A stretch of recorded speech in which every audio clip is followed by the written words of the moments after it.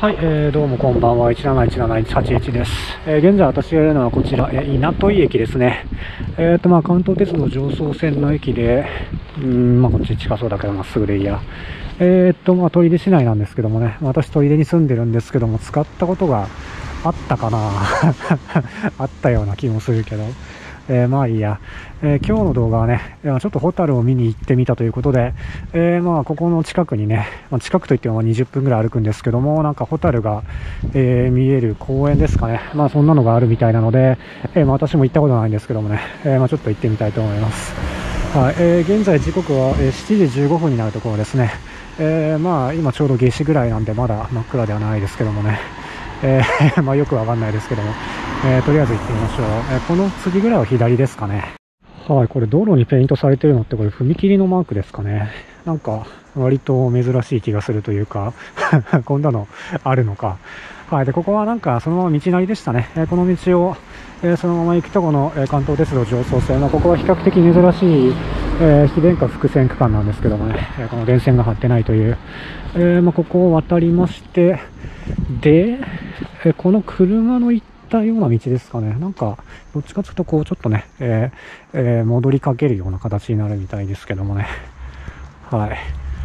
えー、こんなとこですな。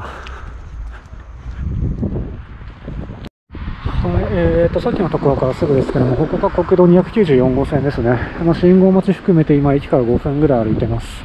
えー、で、まあ、この道を行って、まあ、まだしばらくですね。でなんか今ちょっと雨がね、ぱらついてるんですよね。まあ、今日は午後は降らない予報、まあ、朝はちょっと降ってたんですけどもね。でも、そのなんか、ホタルはね、その雨の日は飛ばないらしいので、ちょっとこれはただの散歩動画になってしまうね、えー、可能性もあるんですけども、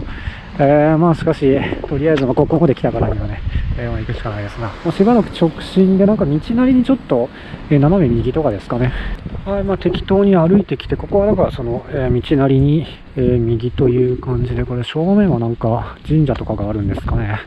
え、地元だけど全然知らない。え、今は9分ぐらい歩いてますね。はい、えー、こちら読売センター。なんかちょっと変わった形のね、建物ですね。えー、まあ、まだまっすぐ。え、ー、と、駅からは今16分ぐらい歩いてますね。えなんか18分とか確か Google 先生いた気がするんですけどもね、もうちょっとかかりそうかな、これは。え駅から19分ぐらい歩いて、ここ正面横切っているのが上層ふれあい道路ですね。で、このもう向こう側がすぐ公園なので、まあ、え まあ、こんなもんでしょう。えということで、まあ、どの辺にね、そのホタルがいるのかもちょっとよくわかんないんですけども、まあ、軽く行ってみましょうかね。はい、なんか降りてきましたけどもね、一応かろうじて伝統はありますけども、ちょっとこれは、わからんかもしれんな。その、ホタルこっちみたいな案内がありますかね。あるいは遠くから見てホタルがあの辺にいるってわかるもんなんだろうかな。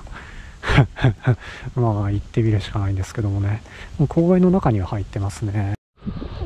はい、ちょっとこう暗くてよく見えないですけども、ホタルの里と書いてある看板があってね、で、私以外にも、えー、なんか来られてる方いらっしゃるので、おそらくね、まあ、そこそこ、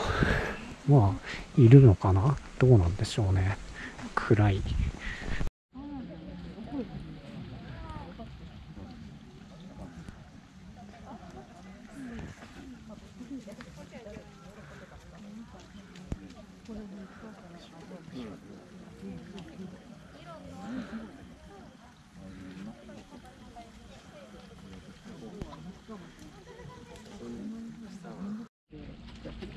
ほらほらほらほらほらいっぱい出てきた